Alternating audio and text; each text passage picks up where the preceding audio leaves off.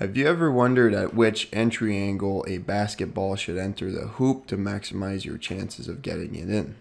Well, if so, you're in luck because that's exactly what we're going to cover today.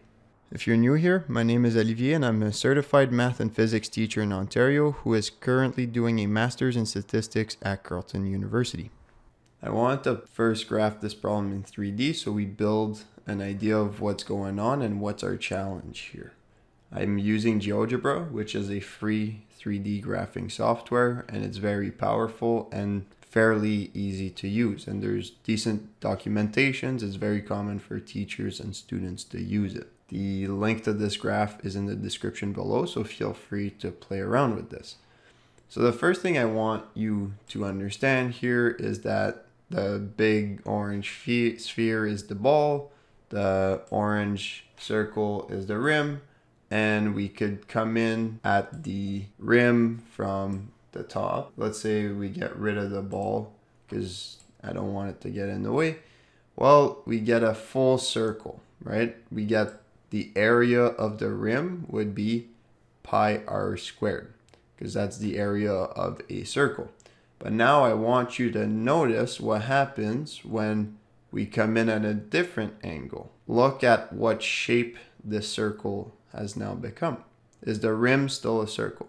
Yes, the rim didn't change. The physical metal of the rim did not change. It doesn't warp depending on the entry angle of the ball. What does change is from the perspective of the ball. So for example, if I come in at a, let's say 20 degree angle, if I align the center of the ball to the center of the graph here, just to get an approximate perspective, we see that the, the hoop is now an ellipse. That's a squished circle. So the area is not pi r squared anymore. It's a little bit smaller from the perspective of the, of the ball. Imagine yourself if you had a small lawn chair and you sat inside this transparent sphere and you're looking at the rim. It doesn't look like a circle, although it is in reality, right? So from the perspective of the ball, you have less area to go through. So then depending on the angle, let's say we do 45 and we move, that gives us a squash circle, but the ball would probably fit through that. So then the question is, which angle maximizes the area? Well, that's obviously 90. But maybe in basketball, to shoot a 90 degree entry angle, you pretty much have to do a granny shot and shoot the ball all the way to the ceiling and then so it lands vertically downward. So that's not practical because that's biomechanically you're going to struggle to get those shots consistently. So there, there's a trade-off going on here. So that's what we're going to explore further in Desmos. Simplifying the problem a little bit and going to 2D, we can look at the problem from another perspective and look at it from the side. Here, this uh, typical basketball shot, it's approximately a free throw because it's at 15 feet from the hoop. The release height is 8 feet and it's a standard 10 feet rim with a 9 inch ball. Look what happens when we change the angle, the release angle of the ball. So if we shoot it at 90, you see that the entry angle of the ball here is almost 90 degrees, which would result in a maximized area, but that's very impractical to shoot this ball. You need to shoot this ball at 90 feet per second approximately to get it in. And that you can imagine how that would be very difficult to do. You might even hit the ceiling. And on the other hand if you shoot at a very flat angle you see how tight the rim becomes from the perspective of the ball. The ball might not even be able to fit like this. I'm at 27.5 degrees of release angle. And then if you go below a certain angle, then it's for sure that it won't hit the rim at all. So there's a trade-off going on between which release angle you should shoot at. Looking at this problem from just one more perspective, and this is the perspective from being above the rim, because that way we can kind of see the area of the circle and the ellipse we were talking about for a different entry angle of the ball. So the entry angle of the ball would be from the horizontal. So for uh, 90 degrees would be the ball's coming straight down from the ceiling.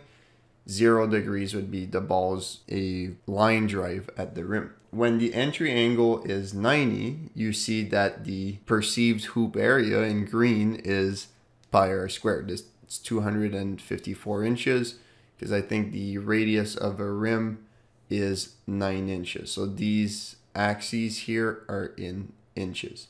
When it's zero, the area of the perceived hoop is zero inches because you're shooting at it horizontally, the ball is going to bounce on the rim every shot. 45 degrees, that's the angle in between, would you expect the area to be 254 divided by 2, which is 127? Well, the area isn't half. In fact, the area of the perceived hoop from the ball's perspective is 180, which is 71% of the area of the initial hoop. It's not obvious which entry angle the ball should take, but what is obvious is that it's a non-linear relationship between the area of the rim and the entry angle of the ball. Most of the gains in the area of the perceived hoop are done in the first half of the entry angle from 0 to 90.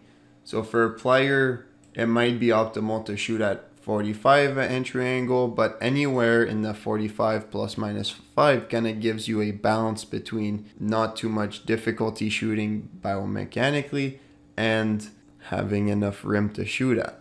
Ultimately, there is no perfect entry angle for a shot to go in every time. It's very dependent on the player, the shot location, in-game circumstances, but thinking about it in terms of area might help you realize that a shot that's too flat is definitely not good, and a shot with too much arc, there is diminishing returns. A lot of people think more arc is always better because you get more area, but this comes at a cost. If you have any questions or comments, please leave them below. The best way to support the channel at the moment is to share this video with your friends, hit the subscribe button, and hit the like button. Thanks for watching, and I'll see you next time with Duddhawork.